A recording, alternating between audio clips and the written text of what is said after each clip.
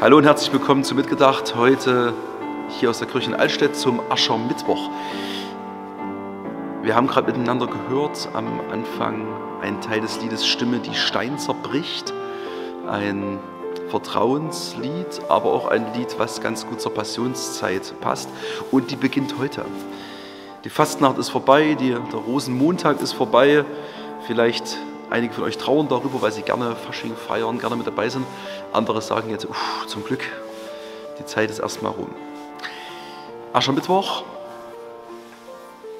An manchen Orten werden jetzt die, die Aschekreuze äh, auf Handfläche oder sogar Stirn gezeichnet als Symbol des Beginns der 40-tägigen Fastenzeit, also auch der Passionszeit. Und das Lied, das wir gehört haben, Stimme, die Stein zerbricht, die nimmt das ein bisschen auf. So, Gottes Nähe und Gottes Ferne und manchmal auch, wie er sich verhüllt, wenn man den Bezug zu ihm verliert. Ähm, das sind auch Themen, die in der Bibel und im christlichen Glauben eine Rolle spielen. Die werden nämlich nicht ausgeblendet, sondern die sind ja, im Grunde genommen elementarer Teil vieler, vieler biblischer Geschichten. Und die Passionsgeschichte, an deren Anfang wir jetzt stehen, die macht das zum Thema. Jesu Weg, mit seinen Jüngern bis nach Jerusalem, durch Galiläa und Judäa hindurch, bis nach Jerusalem.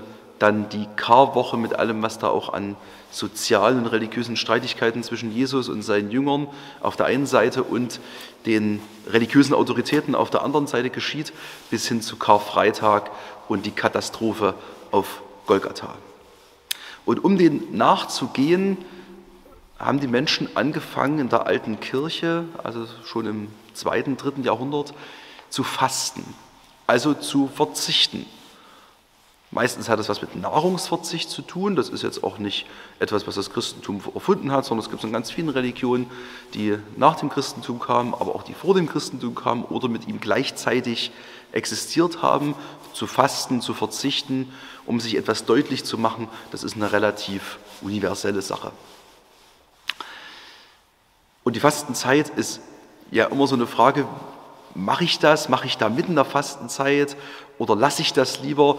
Ähm, ich werde dieses Jahr wieder Fleisch fasten über die 40 Tage. Das mache ich jedes Jahr und das gelingt mir mal besser und mal schlechter.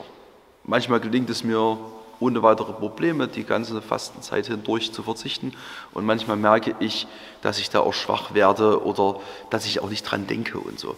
Das heißt, für mich ist die Fastenzeit eigentlich gar nicht die Frage, halte ich 40 Tage durch oder wenn man das traditionelle Fasten nimmt, halte ich immer sechs Tage durch, einen Tag fastenfrei, dann wieder sechs Tage und so weiter. Oder halte ich die ganze Zeit durch?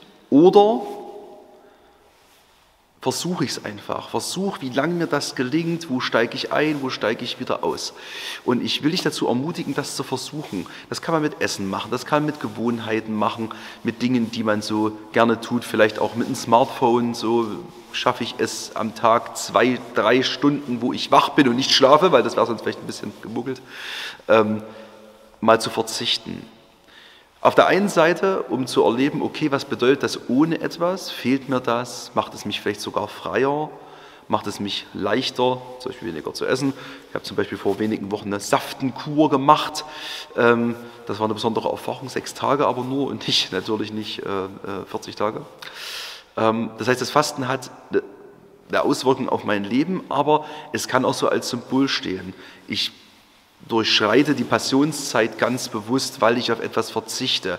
Immer wenn ich daran denke, oh, jetzt könnte ich, ich bleibe mal bei dem Beispiel von mir, Fleisch essen, ich hätte jetzt mal richtig Lust auf ein Steak oder auf einen Burger oder auf ein Bockwürstchen, auch das ist ja, kann ein großer Genuss sein.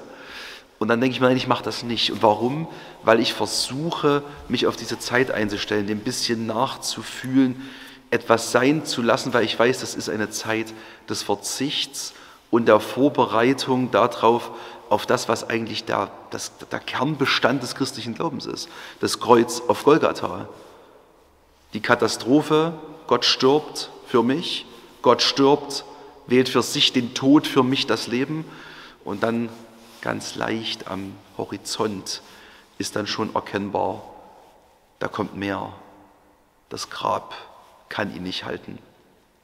Ich will dich also ermutigen, mit, das mit dem Fasten auszuprobieren. Und auch wenn du dieses Video erst in zwei Wochen siehst und sagst, Mensch, jetzt hat die Fastenzeit schon begonnen, ist egal. Dann fastest du eben nur zehn Tage oder nur fünf. Versuch das.